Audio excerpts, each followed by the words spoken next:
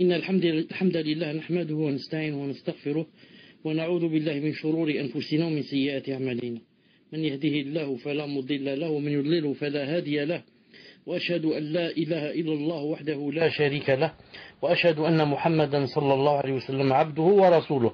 يا أيها الذين آمنوا اتقوا الله حق تقاته ولا تموتن إلا يا أيها الناس اتقوا ربكم الذي خلقكم من نفس واحدة وخلق منها زوجها وبث منهما رجالا كثيرا ونساء. واتقوا الله الذي تساءلون به والكان عليكم رقيبا. آمنوا اتقوا الله وقولوا قولا سديدا يصلح لكم أعمالكم ويغفر لكم ذنوبكم ومن يطع الله ورسوله فقد فاز فوزا عظيما. ألا إن أصدق الكلام كلام الله وخير الهدي هدي محمد صلى الله عليه وسلم وشر الأمور محدثات وكل محدثة بدعة وبدعة ضلالة وكل ضلالة في النار أما بعد حياكم الله en cette soirée du samedi 15 Rajab, samedi 15 Rajab 1434 de l'Égypte, correspondant au samedi 25 mai 2013. Allah Ta'ala avec euh, certains hadiths, Inch'Allah Ta'ala, et comme vous savez, euh, c'est juste un rappel. Non, ce n'est pas un cours, c'est juste qu'on dit comme ça quelques hadiths, Inch'Allah Ta'ala, pour se rappeler. Donc on reprend un ou deux hadiths où on s'était arrêté, on continue, Inch'Allah Ta'ala. D'après Abdullah ibn Omar, ta'ala anhu, que le prophète sallallahu alayhi wa sallam a dit, Allah va faire entrer les gens du paradis dans le paradis, et les gens du feu dans le feu puis on va dire ici il a dit il va dire mais le vrai on va dire aux gens du paradis il n'y a pas de mort. Aux gens de l'enfer, il n'y a pas de mort. Chacun sera éternellement là où il est. Bukhari Muslim, apporté par Bukhari et Muslim. Donc Allah va faire entrer les gens du paradis dans le paradis et les gens du feu dans le feu. Puis on va dire oh, il n'y a pas de mort. Aux gens de l'enfer, il n'y a pas de mort. Chacun sera éternellement là où il est. d'après Abu Huraira radiallahu ta'ala que le prophète sallallahu alayhi wa sallam dit personne n'entre, personne n'entre dans le paradis sans que la place qu'il aurait eue dans le feu s'il avait désobéi lui soit montrée. Ceci afin qu'il augmente en remerciement. Et personne n'entre dans le feu en enfer, sans que la place qu'il aurait eue dans le paradis, s'il avait obéi, lui soit montrée, afin que ça soit une peine pour lui, rapporté par Bukhari. Je répète ce hadith. Personne n'entre dans le paradis que la place qu'il aurait eue dans le feu, s'il avait désobéi, lui soit montrée. Et ceci pourquoi? Afin qu'il augmente en remerciement. La personne, quand on lui dit que tu es des gens du pays, elle va sûrement sentir beaucoup de joie et remercier Allah pour cette grande ni'ma. Mais, si on lui montrait aussi la place, sa place de l'enfer s'il avait désobéi, ça va, donc euh, augmenter son remerciement il va remercier Allah subhanahu deux fois. La première, qu'ils soient des gens du paradis. Et la deuxième, qu'ils ne soient pas des gens de l'enfer. Parce qu'on lui montre sa place dans l'enfer. Si on ne lui montre pas, il va rentrer directement au paradis. Peut-être qu'il va dire dans son cœur, j'étais du gens du paradis. Et il ne sait pas ce qu'il y a en enfer. Il ne sait pas, il n'a pas vu. Maintenant, on lui montre sa place en enfer. On lui dit, regarde où tu serais allé si tu n'avais pas obéi à Allah subhanahu wa ta'ala. Donc là, ça va quoi? Ça va l'aider à ce qu'il remercie Allah subhanahu wa ta'ala, il, il augmente son remerciement. Et la même chose pour le contraire. Il a dit, et personne n'entrera en enfer sans que la place qu'il aurait eue dans le paradis, s'il avait obéi, lui soit montrée. Pourquoi? Afin qu'il soit, afin que ça soit une peine pour lui. Non. Quelqu'un, on va le faire entrer en enfer, ça le grand malheur, ça un grand malheur d'être des gens de l'enfer et non du paradis. mais pour qu'il ressente encore, pour que ça soit plus grande que la rentrée en enfer, on va lui montrer aussi sa place du paradis s'il avait obéi à Allah subhanahu wa ta'ala. Pour que ça soit quoi? Pour que ça soit deux grandes peines, deux grands remords. Non, deux grands remords. Si on le fait rentrer directement en enfer, peut-être qu'il va dire dans son cœur, je savais que j'étais des gens de l'enfer. Je n'ai fait que désobéissance sur désobéissance dans, la vie d'ici-bas. Mais il sait pas ce que c'est le paradis, il n'a aucune idée. Ça? Je répète d'abord le hadith. Le prophète sallallahu alayhi wa sallam a dit que personne n'entre dans le paradis sans que la place qu'il aurait eue dans le feu, s'il avait désobéi à Allah subhanahu wa lui soit montrée. Ceci afin qu'il augmente en remerciement.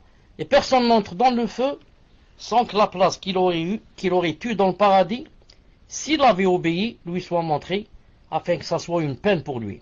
Une peine pour lui. Pour le remerciement, j'ai dit pourquoi. Le musulman, quand il va rentrer au paradis, sûrement qu'il va remercier Allah. Mais si on lui montre aussi, si on lui montre aussi quelle aurait été sa place en enfer, s'il avait dit, ça va quoi dire Alhamdulillah. Parce que maintenant il a vu ce que c'est l'enfer et ce que, Alhamdulillah, Allah wa ta'ala, de ce que, de ce que quoi, de ce que quoi, Alhamdulillah, Allah wa ta'ala l'a épargné. Et la, même chose pour celui qui rentre en enfer. D'abord, il est très chagriné de rentrer en enfer, mais maintenant on va lui montrer ce qu'il a raté. La place de euh, sa place. S'il avait obéi, il serait rentré au paradis, mais il a raté sa place, on lui montre sa place dans le paradis, ça va quoi? Ça va redoubler, sans quoi? Yani son, son chagrin et son remords. Même chose se trouve dans la tombe. Dans la tombe, comme vous savez, d'après les hadiths authentiques, qu'on montre au kafir. On lui montre quoi? Sa place, yani, au paradis. Et lorsqu'il va croire que, yani, peut-être Allah lui a, lui a pardonné ou ceci, cela, on lui dit, ça c'était ta place si tu avais obéi à Allah subhanahu wa ta'ala. Mais maintenant que tu as désobéi à Allah subhanahu wa ta'ala, voici ta place et on lui montre sa place en enfer. Et là, bien sûr, il aura remords sur remords. Et la même chose au croyant dans la tombe. On va lui montrer sa place en enfer. Il aura peur. Non, il aura peur. Et après, on lui dira Ça, c'est dans le cas où tu avais désobéi à Allah subhanahu wa ta'ala mais puisque tu lui as obéi, voici ta place au paradis, on va lui montrer sa place au paradis, et ça va yani, lui faire, lui donner, disons joie sur joie, bi'idnillahi ta'ala. Est-ce que le son est bon? Est-ce que le son est bon? Alhamdulillah. Taïb. Voici un autre hadith du prophète sallallahu alayhi wa sallam où d'après les sahaba, quelqu'un a dit que le prophète sallallahu a dit va rentrer dans le paradis par l'intercession d'un homme de ma communauté un groupe plus nombreux que Bani Tamim. Bani Tamim, c'est une, une, tribu très connue, où il y a beaucoup de familles. Qu'est-ce qu'il a dit sallam Va rentrer dans le paradis par l'intercession d'un homme de ma communauté, un groupe plus nombreux que Bani Tamim. Rapporté par Tirmidhi, authentifié par Sheikh Al-Albani dans Sahih Al-Jami' numéro 8000. 69. Donc ce hadith montre que il y a un homme de la communauté du prophète à beaucoup de gens. À beaucoup de gens, ils seront aussi nombreux que les Bani Tamim. Il y a une tribu très connue des, des Arabes. Al-Muhim. Celui qui a cité ce hadith, il s'est arrêté ici. Alors qu'il y a, une suite dans le hadith. Je ne sais pas pourquoi il n'a pas cité. La suite du hadith, c'est quoi? Alors les gens ont demandé, lorsque le prophète s'est levé, ils ont demandé. D'abord, avant cela, ils ont dit au prophète sallallahu alayhi ils ont dit, tu as dit que, yani, un homme va intercéder. Ils ont dit, à part toi, à part toi, il a dit, naam, à part moi. Car quand il a dit comme ça, un homme va intercéder, tout le monde va croire que cet homme c'est qui? C'est le prophète sallallahu alayhi wa. Mais ici, ils ont demandé, lui ont dit, Rasulallah, à part toi, À part yani, ton intercession? Il a dit Naam, à part moi. Ensuite, il s'est levé, sallallahu alayhi wa et les sahaba ont demandé c'est qui celui-là? Naam. Quelqu'un a dit que c'est Ibn Abi Jad'a. Ibn Abi Jad'a, c'est un sahabi. C'est un sahabi auquel Allah wa lui a donné cette faveur qu'il va intercéder à beaucoup de gens. J'ai essayé de chercher pourquoi spécialement ce sahabi, j'ai pas trouvé. J'ai pas trouvé pour l'instant. C'est que ce sahabi, radiallahu ta'ala, qui s'appelle Ibn Abi Jad'a, Allah ta'ala va lui donner la faveur de, d'intercéder pour beaucoup de gens yom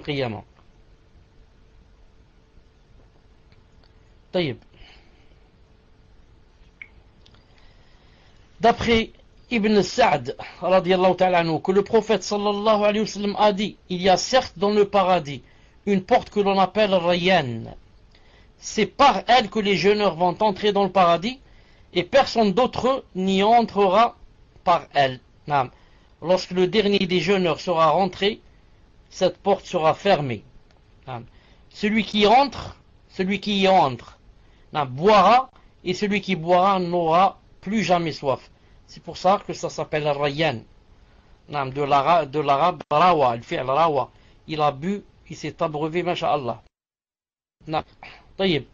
Euh, donc, euh, une des portes du paradis s'appelle comment?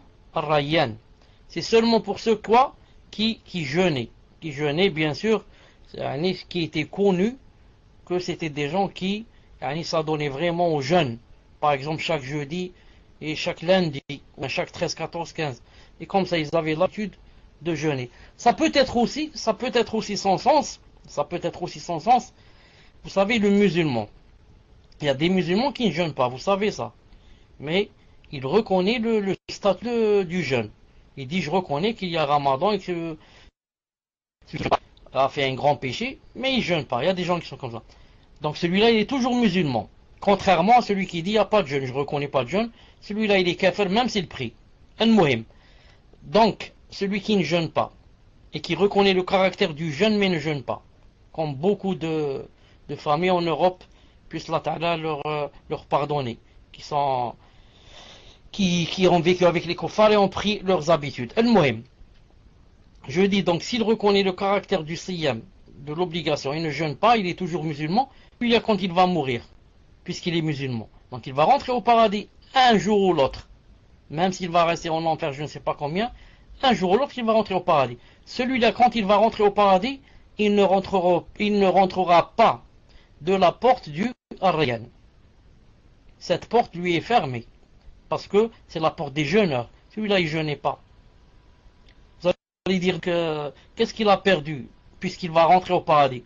On va lui dire chaque porte a, a des délices et des choses qui ne se trouvent pas dans l'autre porte. Si je rentre par, exemple par cette porte, ça va donner à tel et tel palais, telle et telle rivière, telle et telle euh, montagne, telle et telle euh, mer de, ceci et cela. Mais maintenant, n'étant pas rentré par cette porte, je serai privé de tout ce qu'il y a qui, qui, qu'on peut manger et boire de cette porte si, on était rentré. Vous avez compris Donc, il ratera beaucoup de choses. Ce hadith est sahih, je vous l'ai cité la fois passée. Il se trouve dans, rapporté par, Ibn Khuzayma, authentifié par Sheikh Al-Albani dans Sahih Targhib, numéro 9, 979. Un autre hadith. D'après Muawiyah, l'oncle de qui? L'oncle des croyants. Car sa sœur était l'épouse du prophète sallallahu alayhi wa sallam, Ramla. D'après le prophète, euh, d'après, d'après Muawiyah,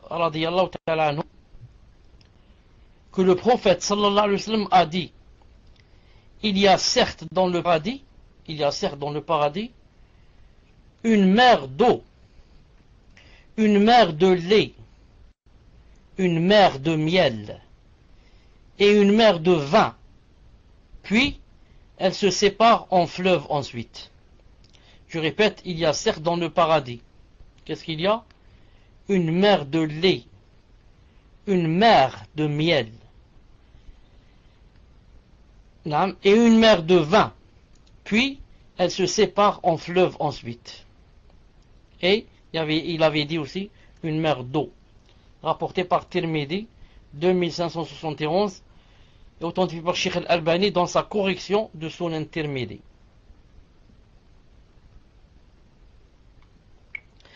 D'après Abu Huraira que le prophète sallallahu alayhi wa sallam a dit, il a dit, d'après Abu Huraira le prophète sallallahu alayhi wa sallam est passé près de moi. C'est Abu Huraira qui dit ceci. Il a dit, une fois le prophète sallallahu alayhi wa sallam est passé près de moi alors que je plante des arbres. Il m'a dit, ne vais-je pas t'informer d'une plantation qui est meilleure que cela Ne vais-je pas t'informer d'une plantation qui est meilleure que cela, ce que tu fais? Il dit Subhanallah, Alhamdulillah, La ilaha illallah, Allahu Akbar. Et pour chacune de ces paroles, il te sera planté un arbre au paradis. Allahu Akbar. Rapporté par Al-Hakim, authentifié par Sheikh Al-Albani dans Sahih Al-Jami' numéro 2613. Ne vais-je pas t'informer d'une plantation qui est meilleure que cela? Tu dis Subhanallah, Alhamdulillah, La ilaha illallah, Allahu Akbar. Et pour chacune de ces paroles, chacune, il te sera planté un arbre au paradis. Dans d'autres versions, un palmier. Tu dis Subhanallah, un arbre. Alhamdulillah, un arbre. La ilaha illallah, un arbre. Allahu Akbar, un arbre. Donc regardez combien d'arbres yani, yani, on loupe Combien d'arbres par jour, par heure, par minute on loupe On loupe. Subhanallah al-Azim.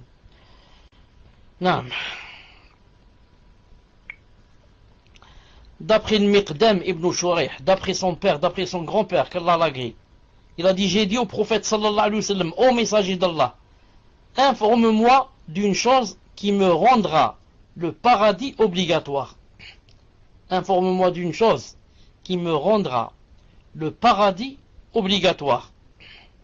Le prophète sallallahu alayhi wa sallam a dit ce qui rend le paradis obligatoire est offrir à manger, propager le salam et parler avec de bonnes paroles.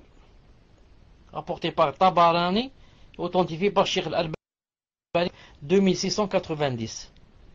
Ya Rasulallah, montre-moi ce qui me rendra une chose qui me rendra le paradis obligatoire, il a dit, ce qui rend le paradis obligatoire est inviter des gens à manger. Les inviter pas, c'est pas spécialement chez moi à la maison. dans un restaurant, dans un, un gargotier, me donner à manger, donner à manger aux gens. Ensuite, propager le salam. Propager le salam. Ce n'est pas dire salam alaikum. Le propager, c'est le dire beaucoup. Naam. Beaucoup. À droite, à gauche. Naam. Chaque fois il y a l'occasion, je dis salam alaikum. Il y a un hadith sahih qui dit que quand tu es avec quelqu'un, même s'il y un arbre ou un, disons, un, bloc de, pierre ou un rocher comme, ça, naam, vous sépare, il a dit, vous, vous devez vous redire salam alaikum alors que vous n'êtes pas séparés. Il y a juste un arbre qui vous a séparé, là. Ou bien une voiture, ou bien un homme qui est passé entre vous. Ensuite, vous allez vous rencontrer, ça, une, quelques secondes plus tard. Là, on dit salam alaikum, et l'autre répond alaikum salam rahmatullah. طيب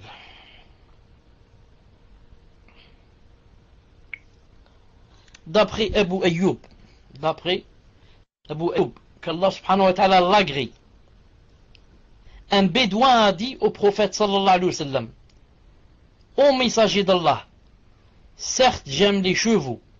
Y a-t-il des chevaux dans le paradis? Ô messager d'Allah, certes j'aime les chevaux.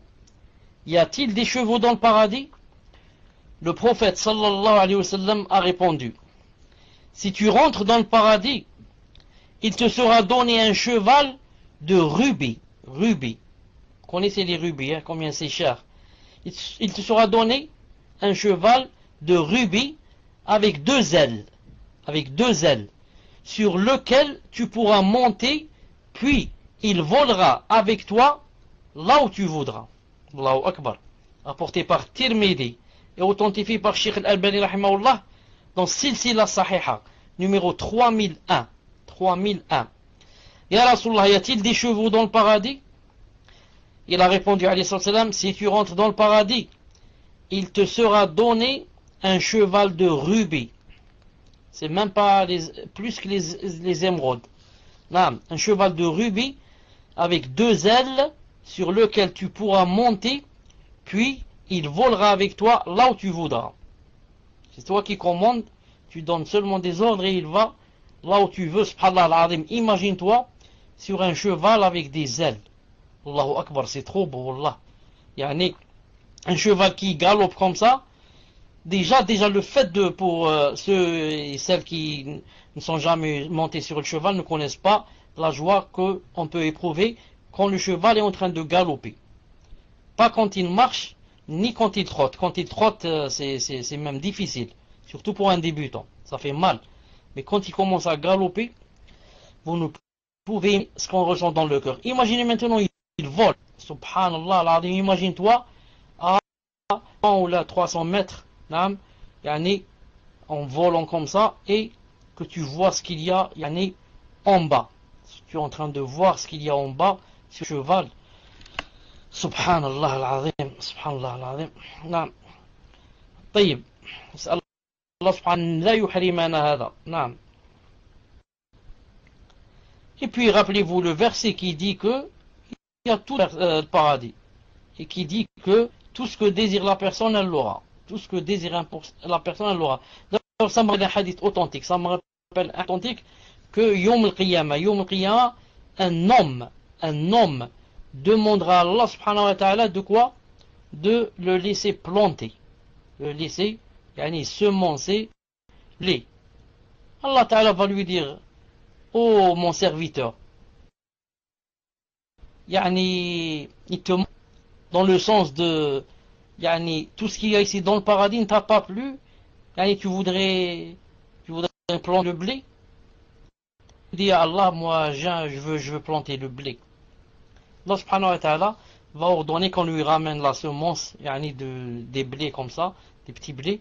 Ensuite il a dit il va commencer à, les, à semencer. Il a dit à chaque fois qu'il jette le grain, à la minute où il tombe sur le sol du paradis, hein, il a dit, il grandit, comme, il sort de la terre comme une montagne. Grand, l'épi, l'épi grand comme une montagne, comme Uhud. Donc il n'a besoin ni d'arroser, ni de avec le, avec le de, de creuser, ni, rien. La minute même, l'épi sort comme une montagne Ensuite, Allah va dire à la personne, Ibn Adam, ô fils d'Adam, yani, la yushbi'uka shay. Dans ce sens-là, il va lui dire, euh, Ibn Adam, fils d'Adam, rien ne te, ne te rassasie, Tu as tout dans le paradis, et ça ne te suffit pas, et tu veux quoi? Tu veux planter. Et ce qu'on veut dire ici, c'est que tout ce que tu désires dans le paradis, tu l'as. Pourvu que ça soit pas quelque chose euh, haram. Regardez, celui-là, il veut planter le blé, l'a. Celui-là a parlé, il a dit un cheval avec des, ailes. Il a dit, tu, tu l'as. Ça existe, là.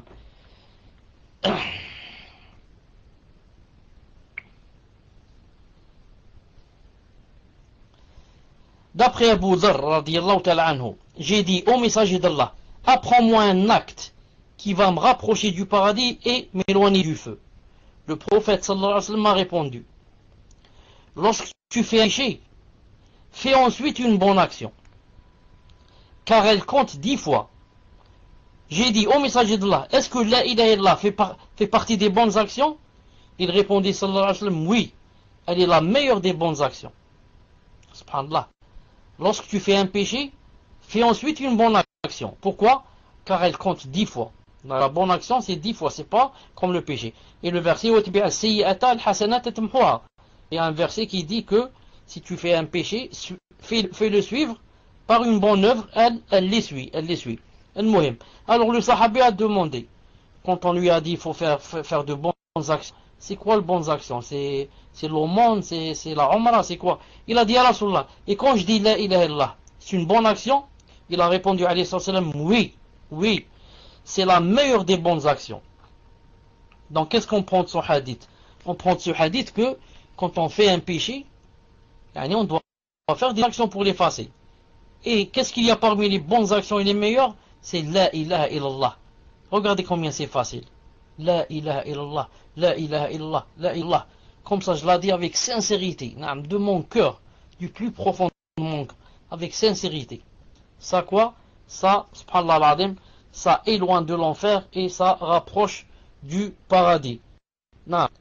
Et ce hadith, bien sûr, a été yani, rapporté par l'imam Ahmed et authentifié par Sheikh al-Albani dans Silsila Sahiha 1373. 1373. D'après Abdurrahman ibn Aouf, qu'Allah subhanahu wa ta'ala le prophète a dit, qu'il a dit, il a dit, Abu Bakr, qu'Allah l'agrée, est dans le paradis. Omar, qu'Allah l'agrée, est dans le paradis. Uthman, qu'Allah l'agrée, est dans le paradis. Ali, qu'Allah l'agrée, est dans le paradis. Talha, qu'Allah l'agrée, est dans le paradis. Zubair ibn al-Awwam, qu'Allah l'agrée, est dans le paradis. Abdurrahman ibn Aouf, qu'Allah l'agrée, il est dans le paradis.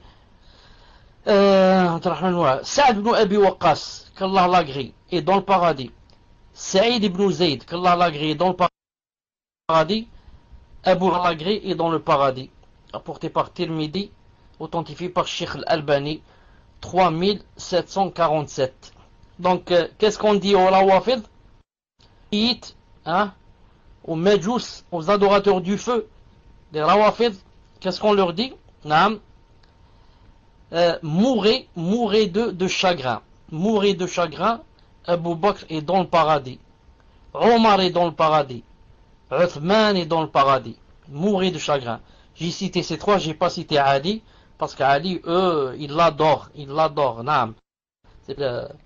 ils le suivent, mais ils l'adorent. Donc, yani, ces trois grands seront dans le paradis, D'après le Mourir ibn Shu'ba, que le prophète sallallahu alayhi wa sallam a dit, il a dit, certes, Moussa a demandé à son Seigneur, certes, Moussa alayhi salam, prophète, Moussa a demandé à son Seigneur, quel est celui qui a le plus bas degré des gens du paradis? Quel est celui qui a le plus bas degré des gens du paradis? Allah lui a répondu, c'est un homme qui va venir après que les gens du paradis soient rentrés dans le paradis. Et à qui on va dire? On va lui dire, rentre dans le paradis. Il va dire, Seigneur, comment Alors que les gens sont dans leur demeure et ont pris ce qu'ils devaient prendre? Il lui sera, il lui sera dit, serais satisfait? Serais-tu satisfait de posséder ce que possède un roi dans la vie d'ici-bas? Donc on est en train de parler de qui? De on est en train de parler de la dernière personne qui va rentrer au paradis. Quand on dit la dernière personne qui va rentrer au paradis, ça veut dire quoi? Vous avez compris? Ça veut dire c'est le musulman qui a fait le plus de péchés dans le monde. Le plus de péchés dans le monde. C'est lui qui va rester le dernier dans l'enfer pour sortir. on va lui dire, est-ce que tu seras satisfait si on va donner ce que possède un roi dans la vie d'ici-bas? Il va dire, je suis satisfait de cela au Seigneur. Alors il lui sera dit, tu as cela ensuite son équivalent, son équivalent, son équivalent, son équivalent. Et à la cinquième, la personne m'a dit, je suis satisfait de cela au Seigneur, je suis satisfait. Allah va dire, ceci est à toi et dix fois son équivalent. Tu as ce que tu désires et réjouis ton œil.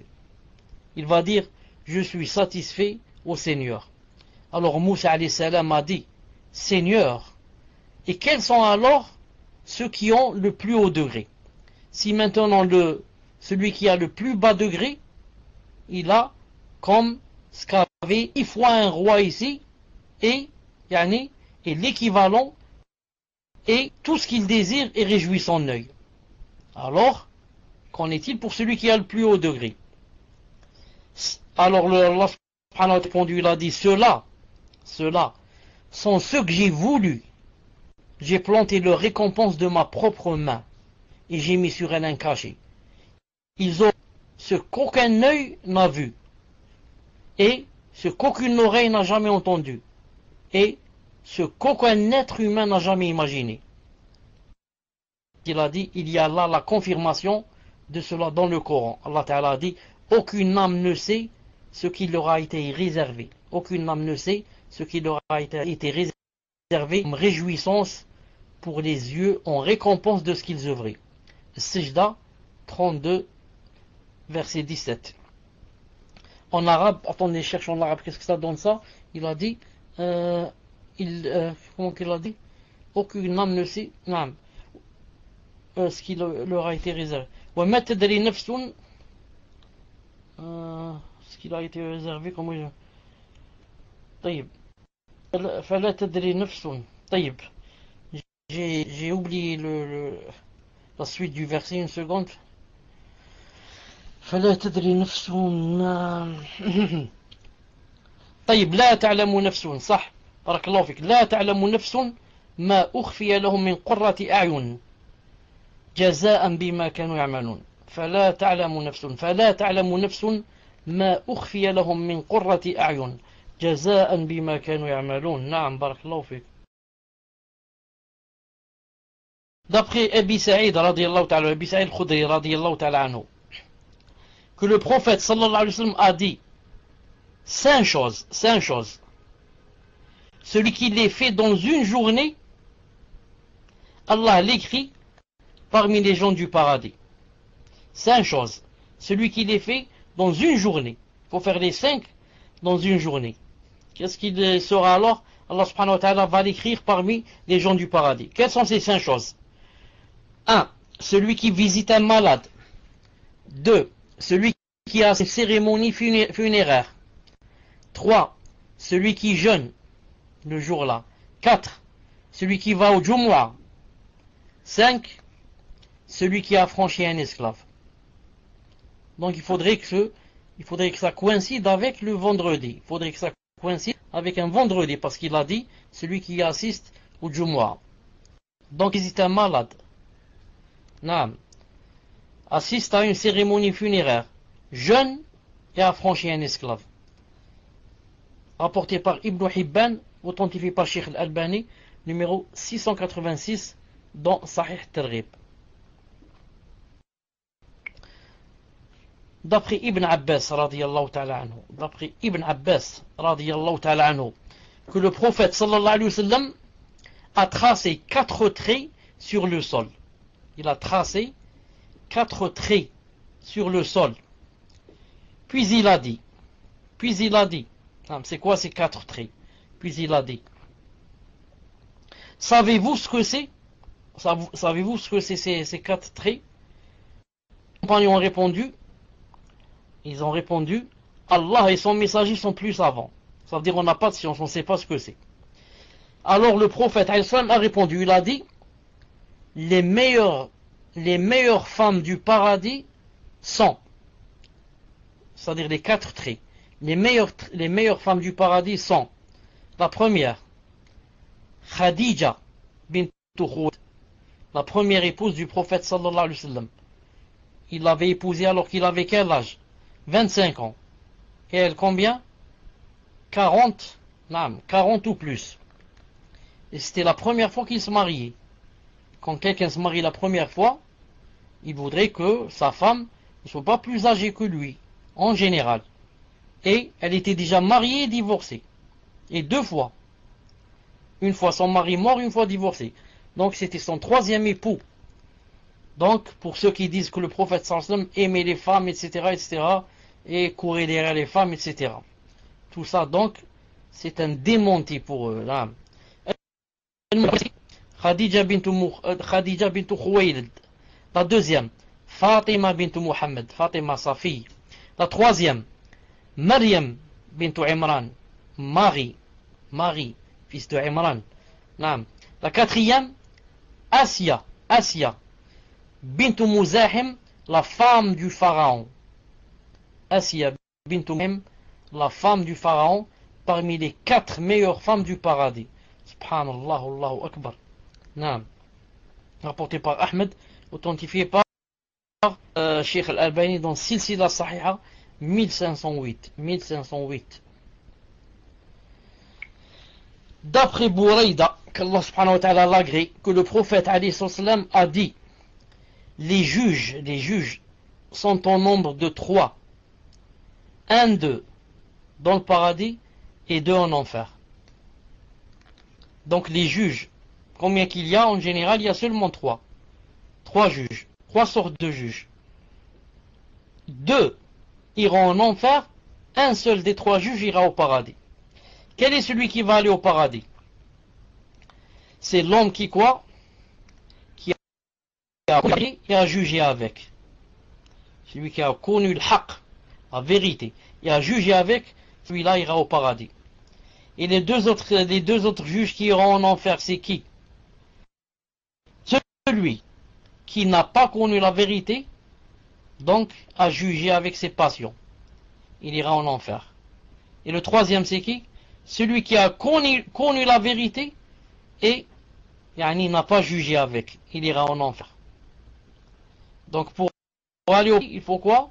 Avoir connu la vérité et avoir jugé avec. Et ceux qui vont aller en enfer des deux juges, ou bien il n'a pas connu la vérité, donc a jugé avec ses passions sa philosophie, ou bien a connu la vérité et l'a laissé de côté et a jugé avec autre chose. A jugé avec autre chose. Celui-là ira en enfer. Rapporté par Abu Daoud et authentifié par Al-Bani dans sa correction de Sunan Abu Daoud 3573.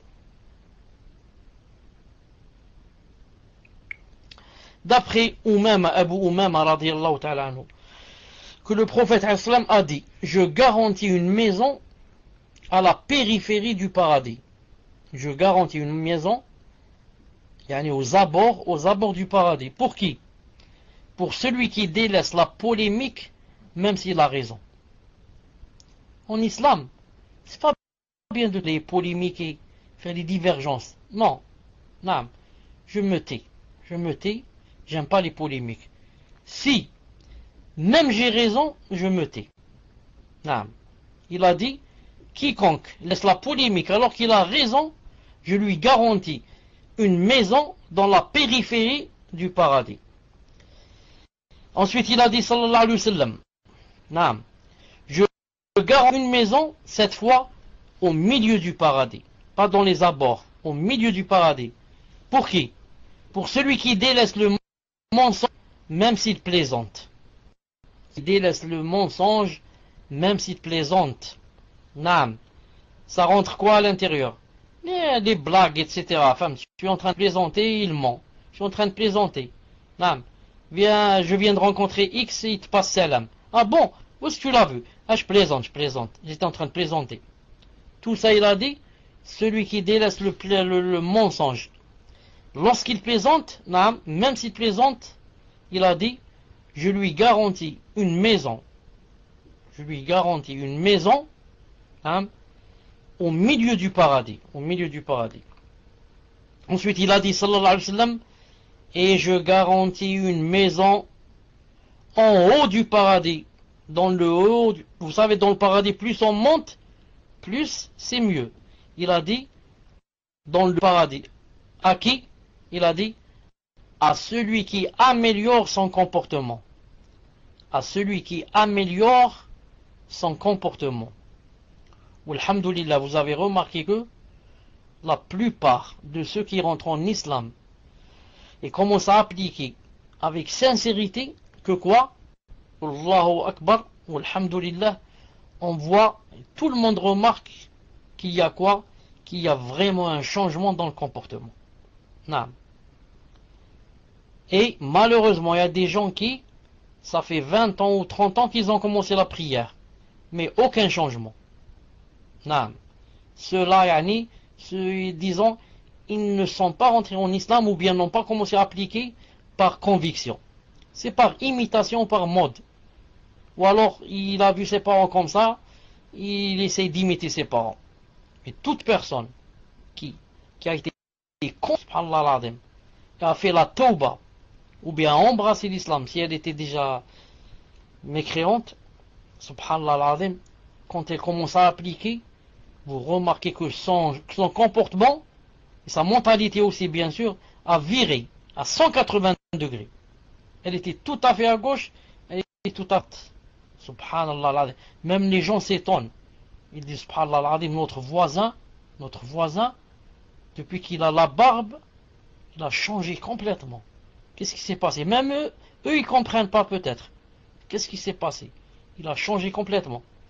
Même les parents remarquent, ils disent notre fils, notre fille, subhanallah ils ont changé complètement depuis qu'ils commencent à appliquer l'islam. Subhanallah. C'est comme ça, c'est ça la preuve, la preuve que tu es dans le sur le vrai chemin, comme on dit. Non. Sinon, il y a des gens, comme je vous ai dit, subhanallah, qui, ça fait des années qu'ils prient, mais ils n'ont jamais changé. Je connais quelqu'un, subhanallah, jusqu'à de nos jours, quand il parle, il dit des gros mots. Non, aucun changement. Ni dans le physique, ni dans la façon de parler. Subhanallah, cette personne dont je vous parle, elle est même y a une personne hein, qui, qui n'a rien, qui, qui rien n'a changé en elle. Elle est partie Omra, pour vous dire. Elle part à la Omra presque, disons, une fois par mois. Presque tous les mois Omra. Cette personne, je la connais. Ça fait pas longtemps qu'elle est allée à Omra. Qu'est-ce qu'elle a Alors Omra, il y a, y a, y a l'hôtel, etc. De l'hôtel, elle, a volé un téléviseur. Un petit téléviseur qu'on donne dans une chambre personnelle. Elle l'a volé, subhanallah l'azim. Subhanallah l'azim. Donc, euh, à quoi ça lui sert d'aller à Vaut mieux qu'elle n'aille pas pour ne pas faire le haram. Euh, subhanallah, un vol à la Omra, c'est pas comme un vol chez nous. Donc, c'est pour dire que il y a des gens, yani, yani, ils n'ont été influencés. Ça se voit qu'ils sont pas sur le vrai chemin. Là. Ça, que leur, leur n'est pas, n'est pas tauba nasuh, comme on dit. Le moyen.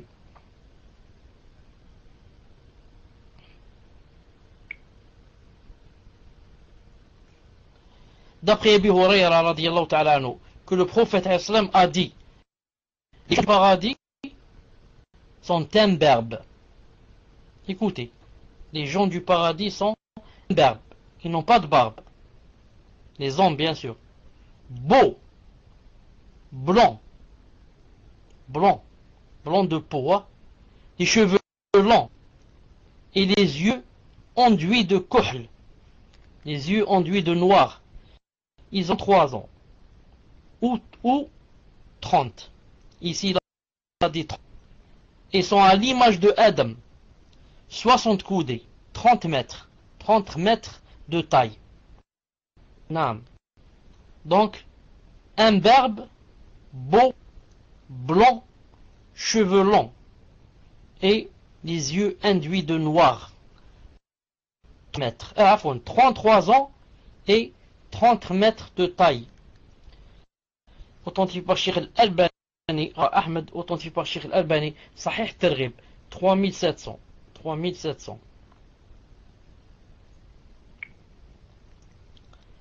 D'après Anas, radiallahu ta'ala anhu, que le prophète sallallahu alayhi wa sallam a dit, écoutez ce hadith, a dit, il a dit, on fera venir, on fera venir, jour de la résurrection, on fera venir des gens du paradis qui a eu le plus d'épreuves dans la vie d'ici-bas. Et on va lui dire, on va dire, plongez-le une fois dans le paradis. Alors il y sera plongé. Puis Allah Ta'ala va dire, ô fils d'Adam, ô fils d'Adam, As-tu vu dans le passé une quelconque difficulté ou bien une chose que tu détestes Alors il va dire non par ta puissance. Je jure par ta puissance, je n'ai jamais vu une chose que j'ai détestée. Donc ça c'est qui? Ça, c'est la personne du paradis qui va rentrer au paradis et qui était dans ce bas monde, la plus misérable. Donc, quand on va le goûter une fois dans le paradis, il va dire, je n'ai jamais vu de difficulté dans ma vie. Tellement, ça tout oublié, tellement ça lui fait tout oublier. Ensuite, on va venir celui des gens de l'enfer. La personne de l'enfer qui a eu le plus de bienfaits dans la vie d'ici-bas. On va faire venir de l'enfer qui, quand elle était dans ce bas monde, elle, elle avait le plus, elle avait le plus de quoi? De bienfaits.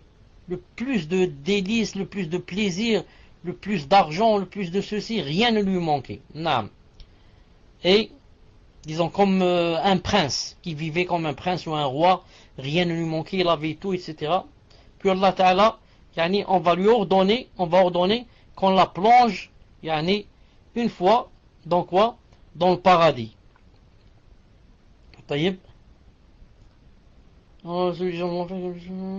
Plonger, à fond, dans l'enfer. On va plonger une fois dans l'enfer.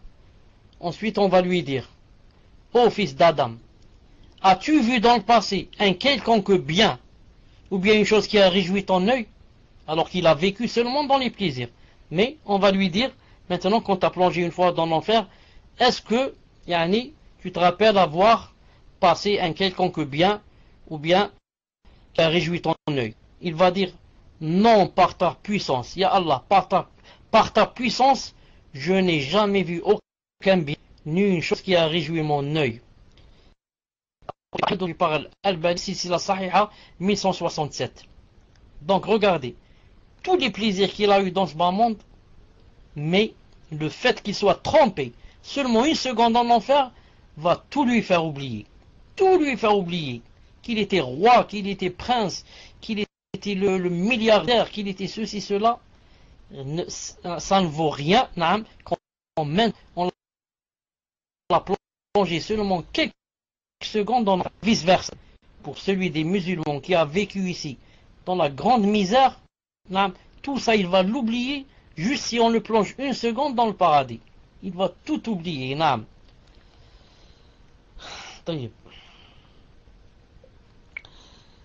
D'après Abi Bouraïda que le prophète a dit les gens du paradis sont répartis en 120 rangs.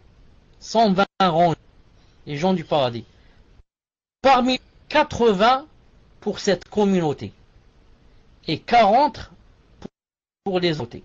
Rapporté par authentifié par Sheikh Al-Albani dans Sahih Al-Jami' 2000. Donc les gens du, du paradis seront combien? 120. Et parmi ces 120 rangs, 80 rangs pour la communauté du prophète sallallahu alayhi wa sallam. 80 rangs pour cette communauté. Et 40 pour tous les autres, toutes les autres communautés, leurs prophètes.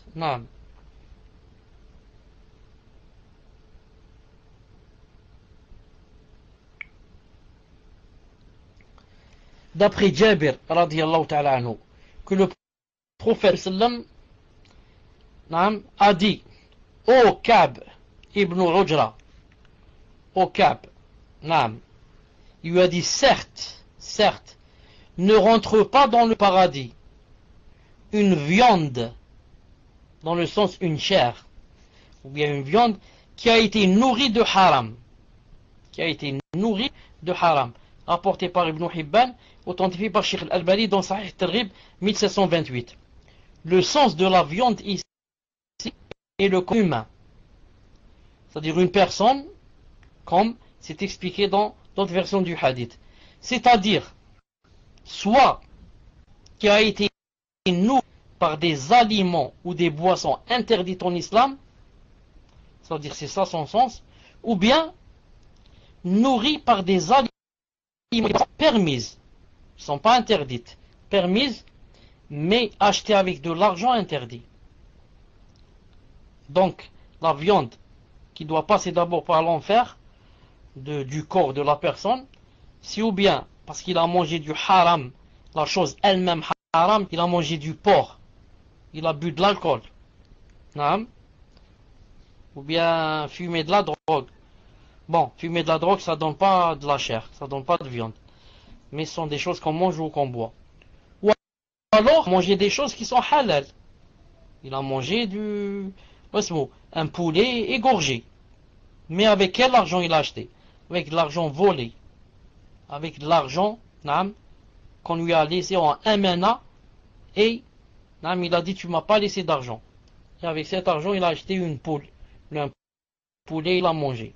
Celui-là, il va pas entrer au paradis jusqu'à ce qu'il passe en enfer pour, pour faire fondre, faire, faire fondre cette, cette chair.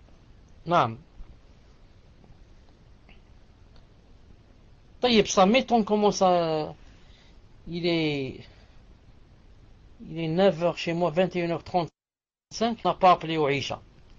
Tandis que je vérifie, peut-être qu'il a. Je ne l'ai pas entendu.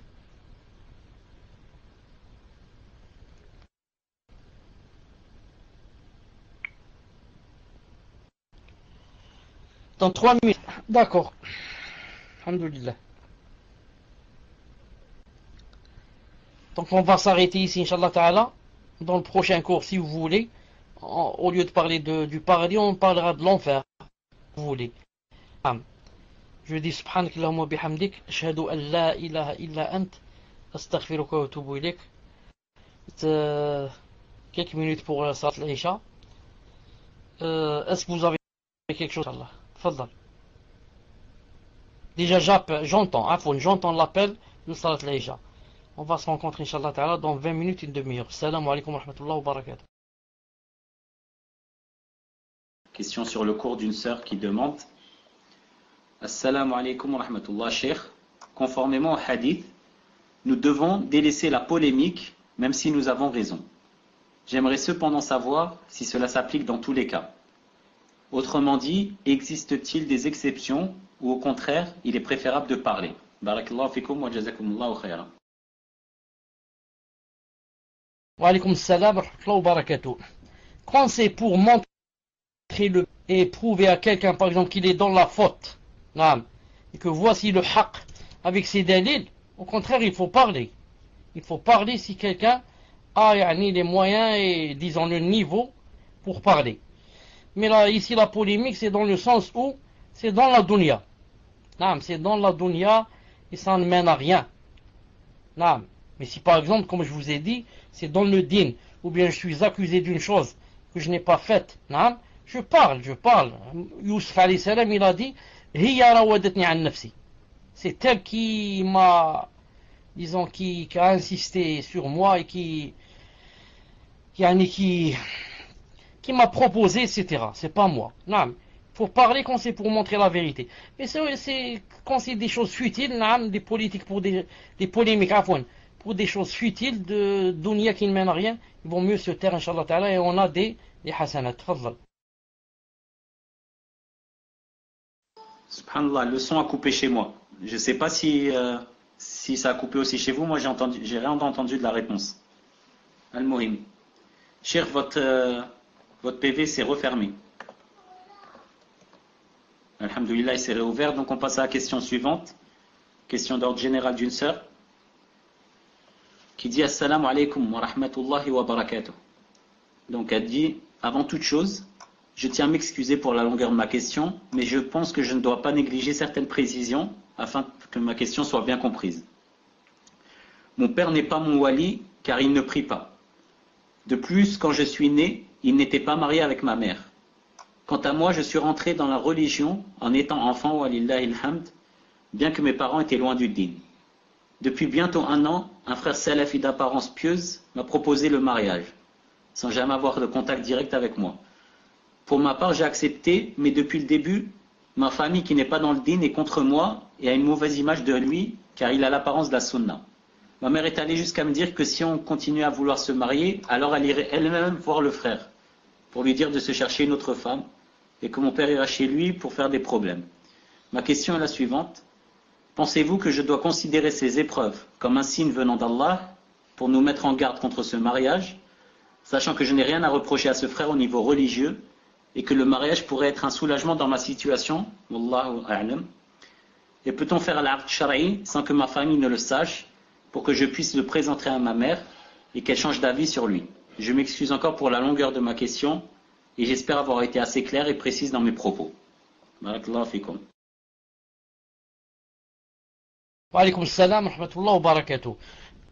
Quand le wadi ne prie pas, ça ne veut pas dire obligatoirement qu'il ne peut pas être wadi. Car pour les quatre grands imams, les quatre grands rites, les quatre grands imams, Abu Hanifa, Shafi'i, Imam Malik et Ahmed, on dit que même s'il ne prie pas, mais il reconnaît le caractère de l'obligation de la prière, il est musulman. Al-Muhim. Supposons maintenant qu'on prenne de l'avis qu'il n'est pas wali. Dans ce cas, qu'est-ce que ça veut dire? Ça veut dire tout simplement que la wilaya maintenant va aller vers euh, le deuxième, le plus proche. C'est-à-dire père, ensuite grand-père, ensuite comme vous savez, yani fils, frère et oncle.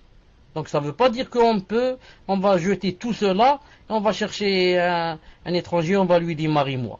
C'est pas possible, mais il y a des étapes, yani, qu'on ne doit pas brûler, l'une derrière l'autre, l'une derrière l'autre, et comme ça.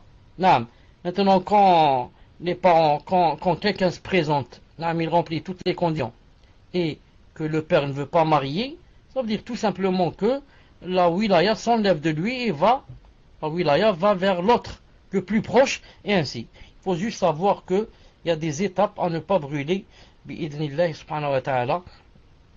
que ensuite les gens choisissent, ou bien ils enlèvent la wilaya et la donnent au plus proche, comme j'ai dit, ou bien la personne, euh, euh, comment on dit, ou bien qu'elle patiente pour ne pas perdre ses parents, jusqu'à ce que Allah lui fasse une solution en essayant, bien sûr, de les convaincre et d'apporter des gens pour les convaincre,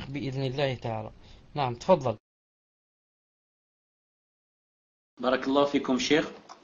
Question suivante d'une sœur sur le cours qui dit j'ai compris quand vous avez expliqué que le croyant qui sera trempé une fois au paradis, il oubliera toutes ses épreuves passées sur terre.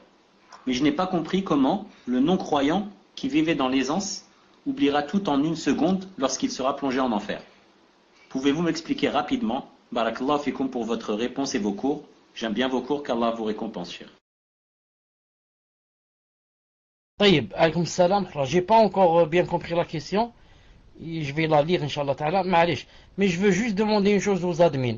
Est-ce que vous, quand vous entendez Abu Zakaria parler, est-ce que vous entendez tous les mots ou il y a des mots qui J'attends votre réponse, Inch'Allah Ta'ala. Si c'est tous les mots, vous écrivez un. Si ça saute, vous écrivez tous les mots. Donc c'est chez moi. Donc euh, c'est chez moi. Je relis. Euh, j'ai compris que vous avez expliqué que le croyant le croyant qui sera trompé une fois au paradis, il oubliera toutes ses épreuves pas sur terre. Mais je n'ai pas compris comment le non-croyant qui vivait dans les oubliera tout en une seconde lorsqu'il sera plongé en enfer. Pouvez-vous m'expliquer? J'explique, Inch'Allah Ta'ala. Donc, quant au croyant, Alhamdoulilah, on le plonge une seconde dans le paradis, khlas, il va tout oublier tellement c'est beau, tellement ceci, tellement cela.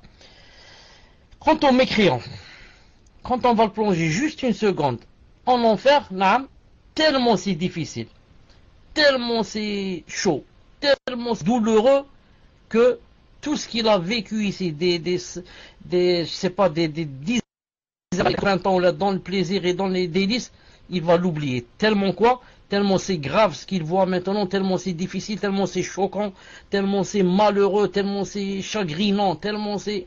Vous avez compris Voilà la réponse, elle est très simple. Naam. ça, ça t'efface tout. Tellement le supplice d'Allah, le châtiment, est grand et difficile, et le châtiment de l'enfer, le, le, adab de l'enfer, le supplice tellement il est grand, il te fait t'oublier, il te fait oublier tout le plaisir du monde que tu as vécu, même si, tu étais un roi dans ce bas monde. Inch'Allah ta'ala c'est clair. Tfadlal. Barakallah fikum cher. Question suivante. D'un frère ou d'une sœur, Allah qui dit J'aimerais savoir si on se rend compte qu'on a fait un acte annulant, l'islam Quel est notre statut? J'essaye d'appliquer un maximum, j'essaye de faire de mon mieux, mais des fois il y a des choses qui sont plus fortes que moi. Dans mon cœur, par exemple, le fait, par rapport à la polygamie, je reconnais qu'Allah l'a autorisé, que c'est un bien, mais mes sentiments par moments sont plus forts. Et la semaine dernière, vous avez lu un hadith qui disait que les hommes au paradis auront deux femmes minimum. Ça m'a fait de la tristesse dans mon cœur, alors que je sais qu'on n'aura plus de jalousie. Cela me fait peur, car il y a un annulant, de l'islam qui dit Celui qui déteste une chose venue du messager d'Allah est un mécréant, et même s'il la met en pratique. Je ne pratique pas la polygamie. Malgré ça, je fais dua pour qu'Allah fasse que j'aime tout ce qu'il aime et déteste tout ce qu'il déteste. Barakallahu fik, pour votre réponse. Qu'Allah vous préserve.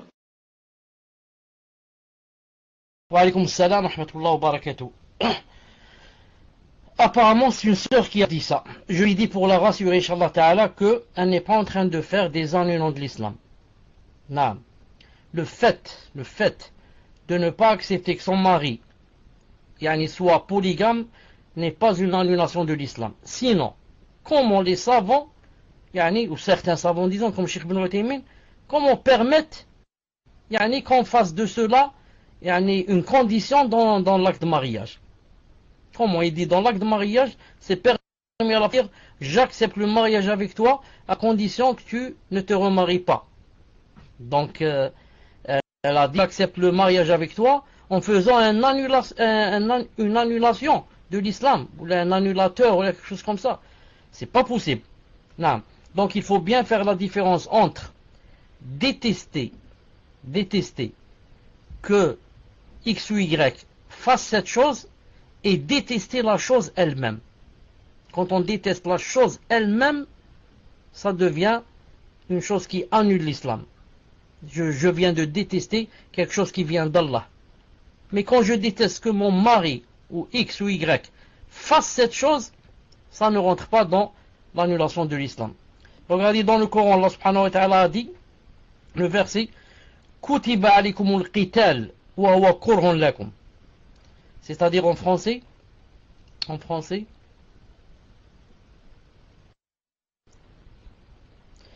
le combat vous a été prescrit alors qu'il vous est désagréable. Or, il se peut que vous ayez de l'aversion pour une chose alors que euh, elle vous est bien. Donc, Allah a dit qu'il se peut que vous ayez de l'aversion, tu détestes une chose, alors qu'elle est un bien. Le combat, le djihad, c'est prescrit par qui? Par Allah ou par euh, les êtres humains? Par Allah. Et pourtant, Allah Ta'ala a dit alors qu'il vous est désagréable. Non, on n'aime pas mourir. Je n'aime pas aller au djihad parce que j'ai peur de mourir et je laisse ma femme et mes enfants et ma voiture. Mais est-ce que j'ai détesté que Allah Ta'ala ait,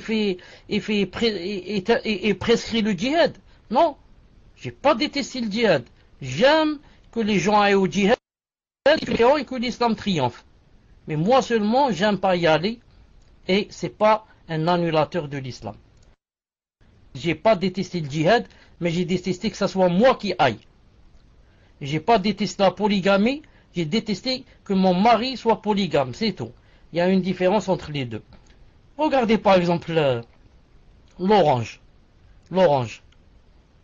Si quelqu'un va dire, si quelqu'un va dire, j'aime manger l'orange, je la déteste, elle n'est pas bonne. Est-ce que j'ai détesté que Allah ait créé l'orange? Non, moi j'aime pas l'orange, j'aime pas la manger. Mais maintenant si je dis, c'est haram de manger l'orange, c'est interdit de manger les oranges, là je suis devenu mécréant. Allah Ta'ala a dit c'est halal, c'est permis de manger l'orange. Moi j'ai dit non, c'est interdit de manger l'orange. Là, je suis sorti de l'islam. Mais si je m'interdis à moi, je dis moi je mange pas les oranges. Elles n'ont pas, elles ont un mauvais goût, je les aime pas. Dès que je mange, j'ai envie de vomir. C'est pas interdit. Parce que j'ai pas détesté. Allah et créé l'orange, mais j'ai détesté l'orange, je veux pas la manger, c'est tout. J'espère que c'est clair, Inch'Allah Ta'ala. Barakallahu fikum, Cheikh.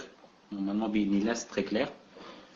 Cheikh, il y a une sœur ou un frère, un point, qui avait posé une question sur, la pêche avec des vers de terre. Et il voulait savoir si vous aviez une réponse ou pas. Barakallahu fikum, Cheikh. J'ai pas trouvé une réponse très claire. Mais apparemment, apparemment, c'est permis, alam. Parce que j'ai 4 ou 5 dalils qui sont dans ma tête maintenant. Que si vous voulez, je vous les cite comme ça très vite. Regardez, en islam par exemple, c'est permis de prendre le, le chameau quand on va faire le hadi du hajj. Et subhanallah on le frappe comme ça avec le couteau sur, sur quoi? Sur sa bosse. On fait rentrer le couteau comme ça d'un coup et on laisse le sang couler comme ça on tient le chameau par les, les, les brides on le fait marcher avec le sang qui coule comme ça, et on ne dit pas on a fait mal à ce chameau, mais parce que ce qu'on fait c'est, yani ta'zim c'est plus, c'est plus fort, plus beau que le fait de, blesser un chameau. Regardez par exemple euh, au temps du prophète sallallahu alayhi wa quand on faisait la course, quand on faisait la course, pour faire la course des chevaux, des fois on prenait le cheval, on le faisait courir, vraiment une longue distance. Ensuite on le ramène à l'écurie, qu'est-ce qu'on fait? On le couvre. Il est, il est, plein de sueur, plein de sueur. On le couvre avec des couvertures, on le laisse deux ou trois jours sans manger. Pourquoi? On lui fait mal apparemment. Mais non, c'est à cause du djihad pour qu'il devienne un vrai étalon. Il devient un vrai pur sang pour qu'il puisse galoper beaucoup plus dans quand il va au djihad. Donc on ne dit pas pourquoi ici j'ai fait mal au cheval. Regardez par exemple quand une mouche tombe dans, dans, dans, dans un verre d'eau, de, de lait ou là. En islam, qu'est-ce qu'on fait? On la trempe. On la trempe et ensuite on, on la jette et on boit à cause de, vous savez, le hadith qui dit de, elle contient dans une aile le poison et dans l'autre le médicament. Donc on va pas dire que je vais faire du mal à quoi? À la mouche. Mais c'est pour, pour ma santé. C'est pour ma santé, pour que je ne boive pas le poison. Regardez par exemple, euh, a dit, j'ai été voir le prophète dans Sahih Bukhari il a dit, je l'ai trouvé avec dans sa main, je sais pas comment ça s'appelle, je crois que c'est un marqueur, un marqueur. On prend par exemple... Euh, quelque chose en fer et on la fait rougir. On la, on la met dans le feu jusqu'à ce qu'elle rougisse. Ensuite, on la plaque. On, la, on met ça sur l'animal.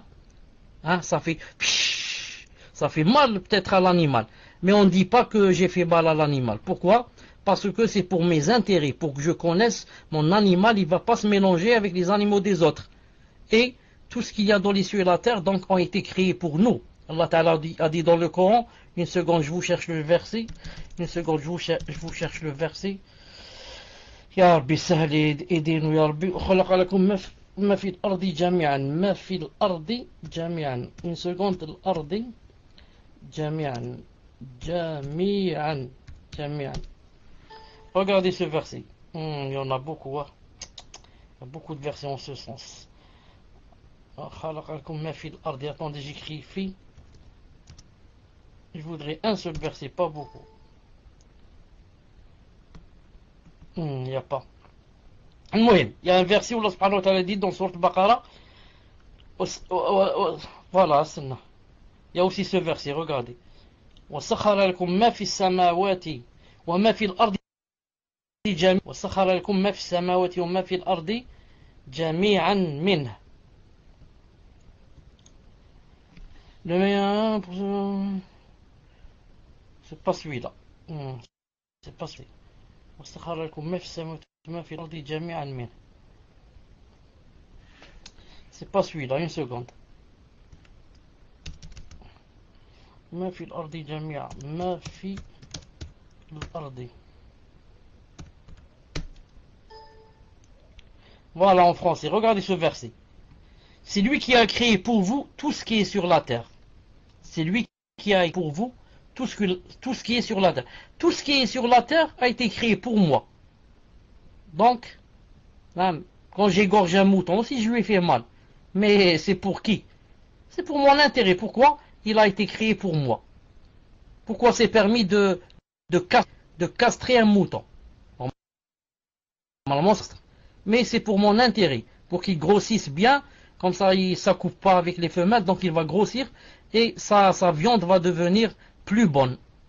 Donc me basant sur ces hadiths, sur ces hadiths-là, et c'est ce que je viens de citer, que, Inch'Allah Ta'ala, ça a été créé pour moi, ce verre, c'est pour que, faut que j'attrape, euh, que ce soit un moyen pour attraper des poissons, D'ailleurs, même le poisson lui-même, quand je l'attrape avec le, l'hameçon, ça lui fait mal. moi, plusieurs fois, j'ai remarqué que quand le poisson commence à venir, je l'entends de loin. Je l'entends de loin, il a des cris. Il a des cris tellement ça lui fait mal, il y a l'hameçon dans sa bouche. Mais je ne vais pas dire donc je vais arrêter la pêche. Au contraire, je vais lire le, verset. C'est lui qui a créé pour vous tout ce qui est sur la terre. Wallahu ta'ala alam. Vous m'avez pas dit si les deux personnes présentes, si elles sont présentes ou pas, celle qui a poser la paradis et sur les enfants s'ils grandissent dans le paradis. Non, cher, j'allais relancer l'appel. Donc, si la personne qui a posé la question sur la hawla wa la quwwata illa billah le mercredi et sur les enfants au paradis, si vous êtes présent, barakallahu fikum de contacter un des admins. En attendant, cher, je vous pose une question d'une sœur qui demande Bismillah, Allahumma salli wa sallam ala rasulillah. Jazakumullahu khaira wa bifirdaus pour ces bénéfices que vous nous apportez. Cheikh, je voudrais savoir concernant les hadiths du paradis, qu'Allah nous l'accorde, amin. J'ai entendu une fois que nous, femmes de dunya, serons plus belles que les houris, est-ce sahih? Qu'Allah Ta'ala nous invitera chaque vendredi, euh, deuxième question, Allah Ta'ala nous invitera chaque vendredi et nous récitera la sourate Ma source est une série nommée euh, très connue. Il y a quelque chose à savoir sur cette série qui parle de A à Z, de ce qui se passe après la mort et qui ne prend que des hadiths pour source notamment ce que vous avez cité ce soir. Barakallahu fikum wa Il y a deux questions. La deuxième, elle a dit que Allah Ta'ala invite les femmes, ou la, je ne sais pas si elle parlait des femmes ou des gens en général. Elle a dit que Allah Ta'ala nous invite. Je pense qu'elle parlait des femmes, ou disons des gens en général, chaque vendredi, et nous récitera la soirée Taha. Ça, ce n'est pas vrai. Ça, ce n'est pas vrai. Non. Par contre, il y a un marché auquel iront les gens le vendredi, comme j'ai cité la fois passée. Je crois que ce sont les hommes, parce qu'il a dit quand ils reviendront, ils trouveront leurs femmes plus belles. Et la première, qui, la première partie de la question qui dit, est-ce qu'il y a un hadith qui dit que les femmes de, ce bas monde seront plus belles que du paradis? Ça c'est vrai. Ça c'est vrai. Il y a un hadith sahih, que la femme de cette dunya sera plus belle que la femme du paradis. Sinon, sinon, personne n'aura envie de sa femme là-bas. Il va dire, moi j'ai la femme du paradis, qu'est-ce que je vais faire avec ma femme? Celle de cette dunya, vous, c'est-à-dire vous, vous avez prié, vous avez jeûné, vous avez prié la nuit, vous avez peut-être jeûné les lundis, les jeudis, vous avez fait l'aumône, vous avez prescrit le bien, proscrit le mal, fait la piété familiale, toutes ces choses-là ne les ont pas faites les houris du paradis. Donc Allah est équitable. Il va vous donner ce qu'il ne donne pas aux autres. Pour ce que vous avez fait en plus. Ta'ala.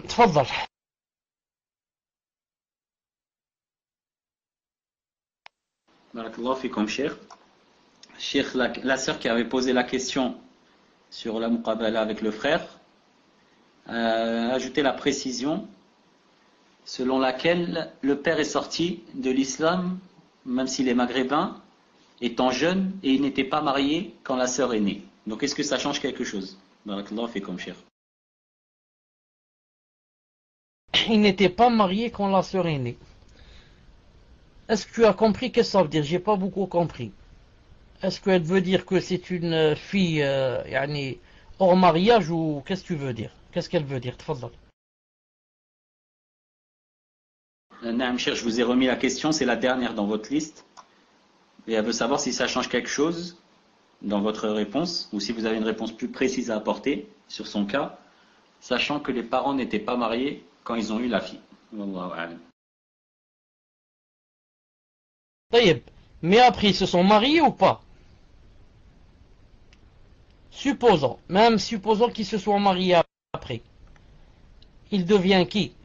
Il devient son beau-père. Et son beau-père ne la marie pas. Donc elle, dans tous les cas, dans les deux cas, ce n'est pas son tuteur. Parce que il l'a conçu hors mariage, et après, quand il s'est marié avec elle, c'est qui? C'est seulement son beau-père, il devient, et ce n'est pas son père.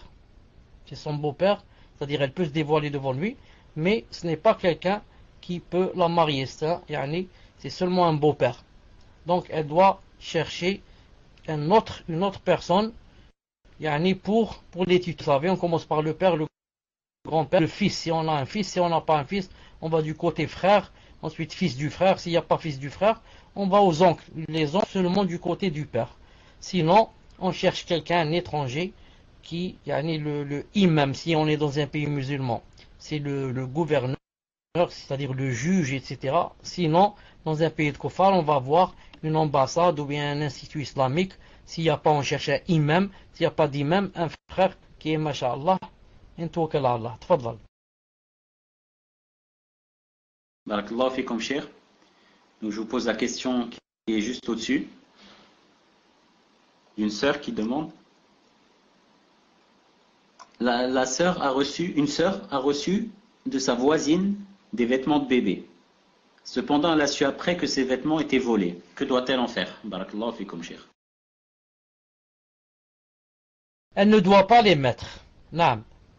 Elle ne doit pas les mettre si elle peut, si elle connaît, si elle connaît c'est qui la personne qui a été volée. Elle les rend à la personne de laquelle on a volé ces choses-là. Naam. Sinon, elle ne doit pas les mettre à ses enfants.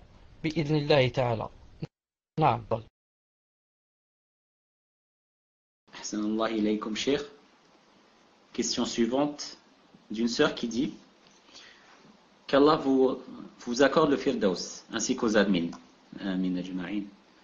Si je comprends bien, d'après le cours de mercredi, on verra Allah Azza wa Jal deux fois. Une fois Yawm al-Qiyamah et une fois au paradis. Si c'est le cas, alors pourquoi les gens du paradis seront aussi émerveillés de voir Allah au paradis plutôt que d'être émerveillés de voir Allah Yawm al-Qiyamah Barakallahu fikum, cher.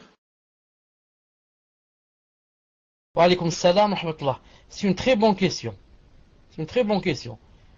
D'ailleurs, il y a même un hadith autre que Allah Ta'ala, yani Yawm al-Qiyamah, quand il viendra juger les gens, il va dire, allez, que, que chacun aille avec qui Chacun aille avec son messager.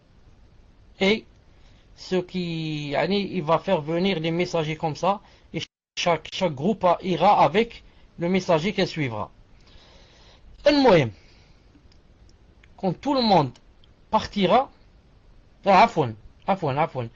j'ai dit avec son messager non qu'il dira que chaque umma chaque communauté yani, aille avec qui elle a adoré alors celui, ceux qui a adoré Jésus Allah Ta'ala va leur euh, faire venir ils vont le suivre et comme ça l'autre avec Bouddha l'autre ensuite resteront qui?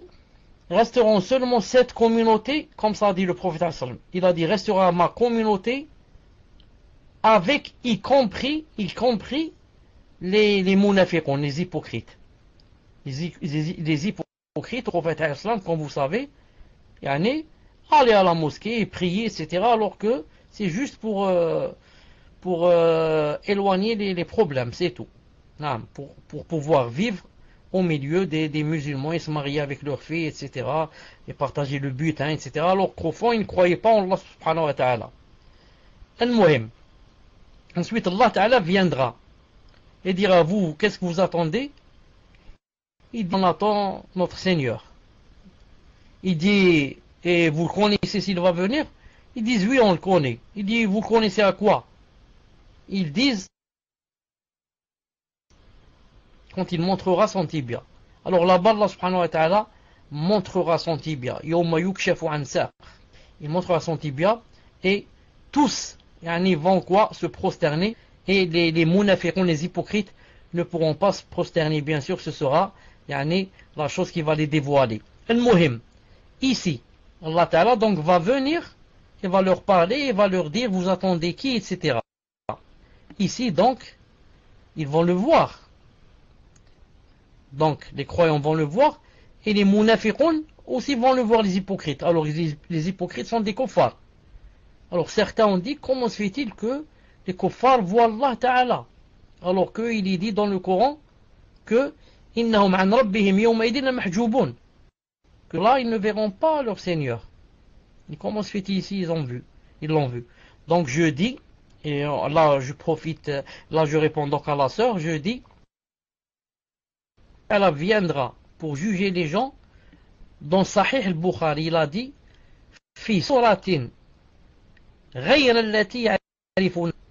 il va venir dans une image hein, celle qu'on connaît de lui. Il peut venir dans une image comme il veut. C'est pas nous qui commandons. C'est pour ça que les savants ont dit que les kuffars le verront, le verront mais pas la vision du paradis. C'est-à-dire que tous les gens, tous les gens qui le verront le jour de la résurrection, une vision, pas celle du paradis. La vision du jugement, ça s'appelle. Ils viennent dans une image spéciale. Mais quand ils vont rentrer au paradis, seuls les croyants le verront dans la vision du dans sa vraie image et sa belle image. Sinon, pour le jugement, il viendra dans une autre image, Inch'Allah Ta'ala. Voilà la réponse, Inch'Allah Ta'ala. C'est pour cela que, quand on le verra dans le paradis, car c'est pas comme ils l'ont vu le, dans, le jugement. Barakallahu fikum, cher. Question suivante. Je croyais vous l'avoir envoyée, mais elle n'est pas passée. Inch'Allah, je vous la renvoie, cher.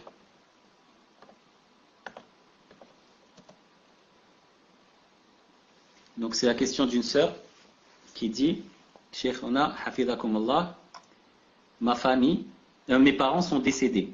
Qu'Allah leur accorde le firdaus, wa iyakum wa. Elle souhaite se marier avec la permission d'Allah, mais ses frères et sœurs ne veulent pas qu'elle épouse un frère du ménage, qui est la sunna et la barbe. Alors qu'elle souhaite euh, absolument épouser un frère du minhaj, mais même lors des muqabala, les frères, des fois, ne souhaitent pas être présents, alors qu'ils en ont l'obligation. Ils ne veulent pas être présents car c'est un frère du minhaj qui se présente. Donc comment faire, Inch'Allah? Barakallahu fikum shir. Et elle demande aussi à ce que vous fassiez des doigts pour ses parents et aussi pour pour qu'Allah facilite à tous les frères et sœurs qui ont des situations difficiles. Pour la muqabala, c'est pas très important car il peut l'avoir dehors. La muqabala, c'est juste pour voir la personne.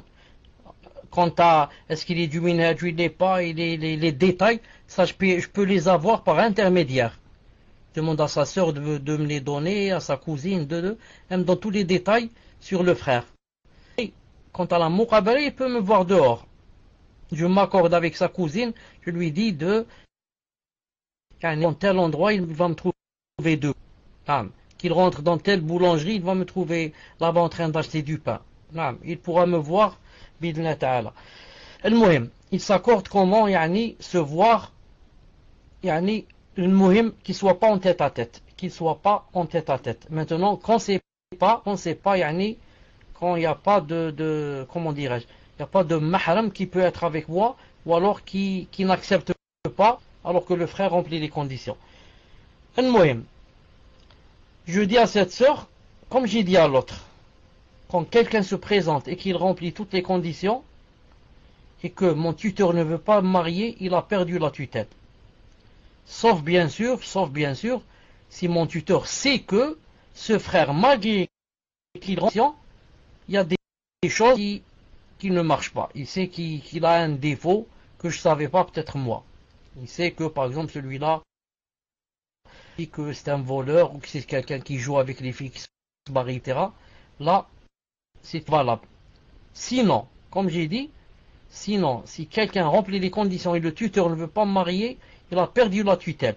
Et la tutelle va vers l'autre personne qui le suit. L'autre personne qui vient après. Une seconde, je vais vous donner, si vous voulez, des tuteurs. Ou alors je vais vous les écrire si vous voulez. Pour savoir yani, quels sont les tuteurs et comment ça se passe exactement. je, vais, dois enlever un fichier ici une seconde. En islam, on commence par le père. Non, on commence par le père. D'ailleurs, si vous voulez, Ibn quelqu'un, si vous voulez, vous écrivez. Qu'en pensez-vous? Si ça... Une seconde, une seconde, si ça... Une seconde, si je peux faire un copier-coller, copier-coller ou comment ça s'appelle, si ça marche, une seconde. Dites-moi si ça se colle, là, si ça se colle. Ça se. Ça s'est pas collé il me dit ici que c'est pas possible. Vous pouvez écrire, Inch'Allah le père, ensuite le grand-père, le grand-père paternel, pas l'autre, le père, grand-père paternel, le fils, le petit-fils, On commence par le père. Si le grand-père ça marche pas, on passe au grand-père. Grand-père ça marche pas, on va à notre fils. Si on a un enfant, on est marié, s'il est pubère. Sinon le petit-fils. Quand je dis le fils et le petit-fils, du côté du père, bien sûr. Ensuite, si on n'a pas ça ou bien ça marche pas, hein, on va au frère. Le frère du père et du mère, il s'appelle le frère consanguin. Si on n'a pas un frère consanguin, on voit le frère du côté du père. Frère du père, pas le frère du côté de la, de la mère. S'il n'y a pas, s'il n'y a pas, on cherche le fils du frère. S'il y a le fils du frère. S'il n'y a pas, on cherche le fils du frère du côté du père. S'il n'y a pas, on cherche l'oncle paternel. Sinon, le fils de l'oncle paternel. Voilà, Inch'Allah Ta'ala, comment qu'on doit faire en ce qui concerne les tuteurs.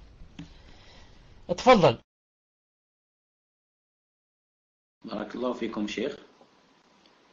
Question suivante d'une sœur qui dit Hayakum Allah, je voulais vous demander si je, souhaite, être avec tous les prophètes au paradis. Je le serai même si je suis une femme Et par rapport au hadith, des cinq choses à faire dans une journée pour être inscrit au paradis.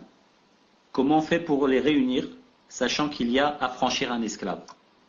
Du coup, on ne peut être inscrit et qu'Allah nous donne à tous le paradis et nous préserve de l'enfer, ne serait-ce qu'une seconde. Wa alaykum salam wa barakatuh.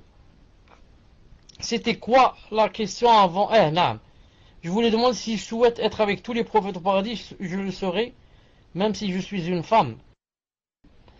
En islam, non, en islam, il n'y a pas de femme et homme en ce qui concerne yani, se rapprocher d'Allah subhanahu wa ta'ala et avoir les, hauts statuts. Les hauts statuts d'être avec les messagers, etc. Non, en islam, il n'y a pas ça. Pourvu qu'on fasse, fasse le nécessaire et soit sincère et qu'Allah subhanahu wa ta'ala la fasse arriver.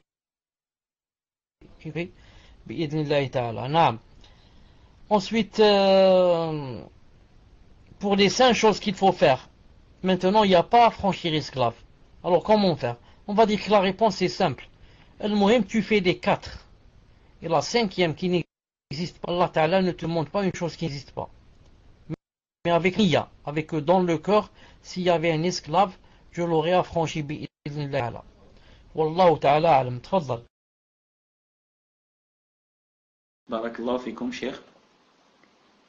Question suivante. Elle vient juste d'arriver, c'est une question du cours. Donc c'est pour ça que je ne vous l'ai pas encore envoyé, cher.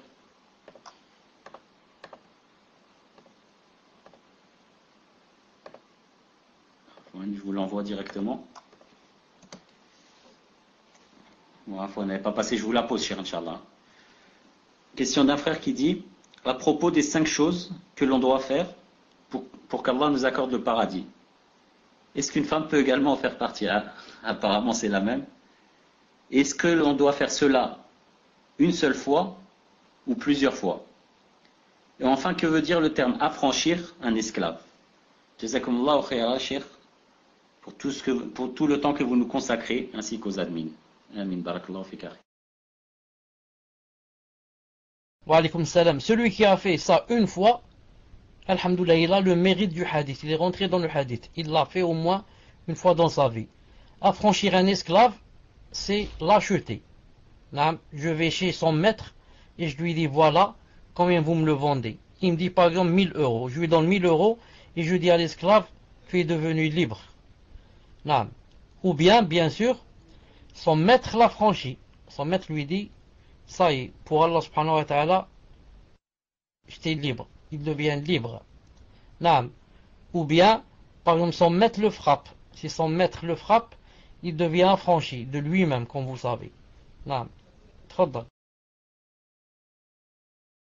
Chir, la sœur, euh, sur la question juste avant, n'a pas très bien compris la réponse à la question si je souhaite être au paradis avec tous les prophètes.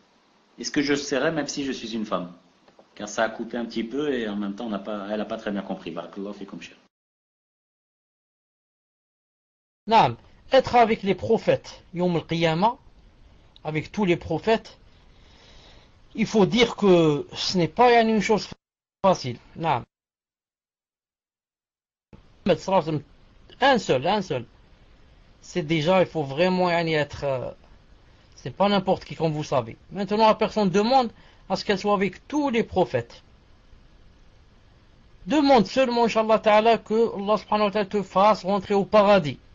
C'est déjà, yani, si quelqu'un rentre au paradis, c'est déjà quelque chose.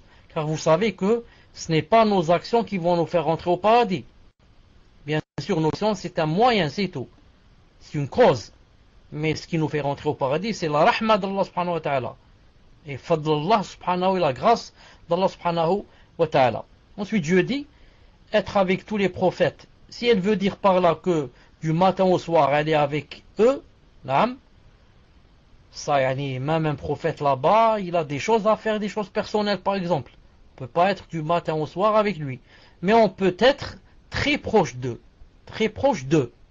Et même pour une femme, ce n'est pas interdit. Maintenant là-bas, elle doit mettre un foulard devant ses messagers, ben on lui demandera de mettre le foulard. Mais Allah subhanahu wa ta'ala peut lui donner ce, mérite, si quoi? Si yani, elle a rempli les conditions. Car pour avoir ce mérite, il faudrait bien sûr être dans un statut très haut. Si Allah ta'ala l'a aidé, elle a atteint ce statut, Allah ta'ala va lui donner ce mérite yawm al-qiyamah, bi'idnillahi ta'ala. Barakallahu fikum. Alhamdulillah, la sœur que c'est clair cette fois-ci. Question suivante, Cheikh. Question d'une sœur dit Barakallah fikum pour les cours bénéfiques que vous faites pour nous, qu'Allah vous en récompense. Ma question est, je vais bientôt accoucher, bi'idnillah, et je voulais savoir, est-ce que nous pouvons faire du don du sang, du cordon ombilical prélevé au moment de l'accouchement? Barakallah fik pour vos réponses, cher. Qu'Allah vous préserve et vous compte parmi les gens du paradis. Et donc pour le cordon ombilical, c'est le habla soirée d'après Ibn Qayyim. Et donc, cher, je vous explique, c'est parce que, apparemment, avec les avancées de la science euh, occidentale, euh, avec le sang qui est prélevé au moment de l'accouchement, il y a certaines maladies qui peuvent être guéries, voire même plus tard pour l'enfant né, ils peuvent utiliser ce sang-là et le guérir bi'inillah. Wallahu. Offrir le sang en général. Surtout, et plutôt, à condition qu'on ne prenne pas d'argent. Car le prophète sallallahu alayhi wa sallam a interdit qu'on vende le sang. A interdit de vendre le sang. Comme il a interdit de vendre le meïta. Le meïta, il y a des choses mortes. Euh, une poule qu'on n'a pas égorgée, on ne peut pas la vendre si elle est morte. Donc si le sang qu'on donne, on donne fils et qu'il aide les gens, on peut le donner car c'est ce qui se renouvelle. Ce n'est pas comme donner un œil, donner un rein, ou bien donner le... Euh, je ne sais pas qu'est-ce qu'on peut donner aussi. Une oreille, non. Car c'est une chose qui ne se renouvelle pas. Barakallahu fikum cher. Question d'une sœur qui demande Je déménage chez ma mère à 500 km. Et dans le camion conduit par mon mari pour transporter les meubles, il n'y a pas de place pour moi et mes enfants. Je compte donc prendre le train avec les enfants. Mon mari ira en camion car nous n'avons pas les moyens financiers de dépenser pour qu'on prenne le train à 4, puisque mon époux, et puis que mon époux reparte chercher le camion pour faire l'aller-retour. Ai-je le droit de prendre le train avec mes enfants sans mahram? Barakallahu fikum. Et je pense que pour cette question, il faudrait avoir l'âge des enfants, n'est-ce pas, cher? Il faut voir, Inch'Allah Ta'ala, s'ils sont dans la darura, s'ils sont dans le besoin, qu'elle prenne, il dit que sécuriser. Dans ce cas, si elle prend le, train, sécuriser et prendre ce qu'on appelle, je crois qu'il y a des, je sais pas comment ça s'appelle ça, des genres de cabines, où elle sera seulement avec ses enfants, là, ou alors où, elle peut être seulement avec des femmes, ou elle peut être dans un endroit où il y a seulement femmes, et comme ça. نعم qu'elle craigne Allah subhanahu wa ta'ala au maximum والله تعالى أعلم Barakallahu fikum, Cheikh. on enchaîne avec la question suivante pour pas perdre de temps d'une sœur. Cheikh, pouvez-vous me dire le sens de ce verset. Allah accueille le, seulement le repentir de ceux qui font le mal par ignorance et qui aussitôt se repentent. Se repentent. Voilà ceux de qui Allah accueille le repentir. Et Allah est omniscient et sage dans Surat Nisa. Barakallahu fikum, Cheikh. Dis-lui si elle peut me donner le verset en arabe, comment il commence. Ou bien son numéro, Inch'Allah Ta'ala. Surat Nisa, verset 17, Cheikh. Voilà le verset. إنما التوبة على الله للذين يعملون السوء ثم يتوبون من يتوب عليهم يتوب الله عليهم وكان الله عليما حكيما. En français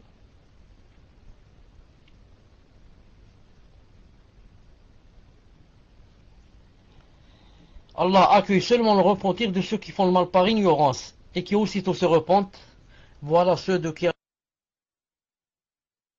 Allah a dit dans ce verset que ici, il a dit ici, lorsqu'Allah dit par ignorance, il a dit l'ignorance se divise en deux. Ignorer que quelque chose est haram, et savoir que c'est haram et, la faire quand même, et la faire quand même, yani, en, ayant dans la tête que insouciance, etc. Il a dit car si Allah Ta'ala voulait dire ici par ignorance, j'ignorais que c'était interdit, il a dit dans ce cas, Naam, Allah subhanahu pas me rementir. Pourquoi J'ai fait une faute? J'ai pas fait de faute. Car je ne savais pas que c'est haram. Salam alaikum wa rahmatullah. Vous m'entendez Alhamdulillah. Donc, euh, voilà l'aya. Une seconde, je me connecte, je me connecte.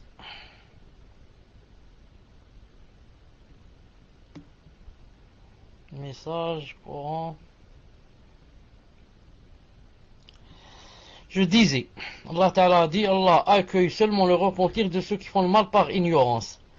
Je disais que, apparemment, ce verset contenait un problème. C'est quoi le problème? Quelqu'un va dire, Allah Ta'ala a dit que il n'acceptait le repentir de que celui qui fait le mal par ignorance. Non. Et nous, qu'est-ce qu'on va dire? On va dire que c'est une condition. On va dire c'est le contraire. C'est une condition. Pour que Allah subhanahu wa ta'ala t'écrive un péché, il faudrait que tu saches que cette chose est haram. Si tu ne sais pas que cette chose est haram, Allah subhanahu wa ta'ala ne t'inscrit pas que c'est un péché. Il faudrait que tu saches et que tu fasses. Et ici, il a dit qu'il n'accepte que le péché de celui qui le fait par ignorance. Si quelqu'un fait par ignorance, il n'a pas fait de péché. C'est pour ça que quelqu'un va dire il y a un problème dans ce verset. Mais le vrai sens du verset, comme je disais tout à l'heure, par ignorance ici, ça ne veut pas dire qu'il connaissait pas. C'est pour ça que Sheikh Ben dit que l'ignorance divise en deux. Ici, ça ne veut pas dire qu'il ne connaissait pas que c'était haram. S'il ne connaissait pas, donc c'est pas haram. Mais il connaissait, mais il l'a fait par insouciance. C'est-à-dire qu'il ignorait l'ignorance ici, c'est pas il ignorait, le hukm, que c'est haram, non. Il ignorait, les conséquences. Naam, quelqu'un fait un péché, il croit que c'est pas grave, alors que ça a une conséquence très néfaste et grave. Lui, il, ignorait ça. C'est ce que veut dire Allah subhanahu ici dans, le verset. Il dit que toute personne, si elle sait que une chose, elle sait que une chose est haram, c'est la condition. Ensuite, par ignorance, elle le fait, il a dit maintenant, si elle fait le repentir, j'accepte d'elle et je lui pardonne, bi'idnillahi ta'ala. Naam, tfadlal. Fikum. Chère question suivante. Question du sœur qui dit Tout à l'heure, j'étais au masjid et il y a eu l'adhan. mais je n'ai pas, pris, je n'ai pas prié avec l'imam. J'ai prié avant de peur de rater mon bus, car j'étais dans une mosquée loin de chez moi et le bus ne passe pas souvent. Ma question est, est-ce que j'aurais dû rester prier avec l'imam vu que j'ai entendu l'adhan? Barakallahu fikum, cher. c'est ça la base. La base que quand quelqu'un entend l'adhan, il est à la mosquée, il ne doit pas sortir jusqu'à prier en groupe avec eux. Mais, sauf s'il a quoi? Sauf si par exemple il va aller prier dans une autre mosquée, il est sorti de cette mosquée pour aller prier dans une autre qui est plus proche de l'endroit de, où il veut aller, ou bien par exemple, il a quoi? Il a une autre, euh, comment on dit ça? Une autre excuse. Il a une autre excuse. Un hadith authentique qui dit que, sauf s'il y a excuse. Nam. On va voir ici, si la personne avait peur de rater son train ou quelque chose comme ça, ça devient une excuse. Mais le hadith parlait de la personne qui n'a aucune excuse et qui va prier, ne pas attendre les gens et partir. Ou alors elle est assise dans la... Elle vient d'entendre l'adhan, la personne est assise, ensuite elle va dire Asana, je vais voir des amis. Et il sort, il ne va pas prier. Celui-là, il a fait une faute grave. Naam. Fadlal. fait comme cher. Question suivante d'une sœur qui demande Puisse Allah vous préserver et vous récompenser de la meilleure façon. Dans ma famille, à peu près tout le monde utilise des sortes de talismans. En fait, ce sont des colliers, mais dans lesquels ils nouent des versets du Coran. D'après eux, ils les protègent des maladies. ils en sont même convaincus. Ma grand-mère pense que même si elle ne, elle pense même que si elle ne l'a pas, elle va mourir ils les mettent aussi à des enfants. D'autres accrochent des sortes de feuilles avec des versets de Coran sur leurs portes. Et c'est censé les protéger des maux des gens ou de djinns, etc., etc. Comment faire nasiha à cette famille qui est certes musulmane, mais ne connaît pas le tawhid? Elle ne sait rien du manhaj. D'ailleurs, il y a beaucoup de bid'a. Comment les éloigner de leurs habitudes sans faire la fitna? Barakallahu fikum il faut aller doucement. Il faut aller doucement, doucement. C'est-à-dire leur parler sans d'abord sans les vexer, sans, sans, être dur avec eux, sans employer des, des, des, propos violents. Il faut leur expliquer comme ça gentiment que yani, si cette chose se faisait. Alors pourquoi le prophète l'islam ne l'a pas fait? Pourquoi leurs épouses n'ont jamais fait ça? Pourquoi les Sahaba et leurs enfants n'ont pas fait ça? Ils connaissent l'islam mieux que nous. Ils, euh, ils, étaient proches du prophète salam. Donc, euh, et comme ça. Et à chaque fois que l'occasion se présente, on dit un mot. On dit un mot. Ensuite, s'ils sont convaincus, alhamdoulilah. Allah les a sauvés, éloignés de ce péché. S'ils ne sont pas convaincus, tu dis, moi j'ai fait ce que je pouvais faire. L'islam ne t'a pas dit, va yani, leur enlever ça de force de leur coup. Par contre, si c'était par exemple tes enfants, tes enfants, tu leur enlèves ça, d'abord avec des paroles, s'ils ne veulent pas, tu enlèves ça de force. Parce que tu les commandes, ce sont tes enfants. Mais maintenant que ce sont nos pères, nos, nos frères, nos sœurs, etc., nos oncles, nos tantes, on n'a que la parole. On essaie de les convaincre à chaque fois, on dit des choses, des choses comme ça, gentiment, d'essayer de trouver des, des, des, des, des, des choses qui convainquent. Si ça marche, alhamdoulilah, ça marche pas, qaddar Allahumma shafa'a. Naam. Voilà, inshallah ta'ala pour aujourd'hui. سبحانك اللهم وبحمدك اشهد ان لا اله الا انت استغفرك واتوب اليك سبحانك اللهم السلام عليكم ورحمه الله وبركاته تفضل تفضل Afouane je prends le micro, c'est pas pour une question, c'est juste pour expliquer aux personnes comment poser des questions.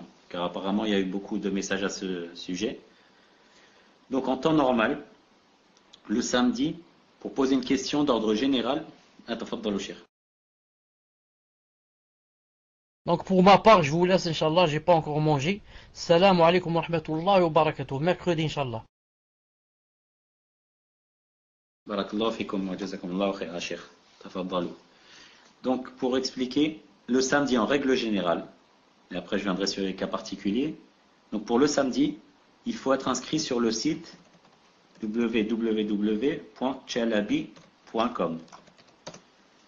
Et le samedi,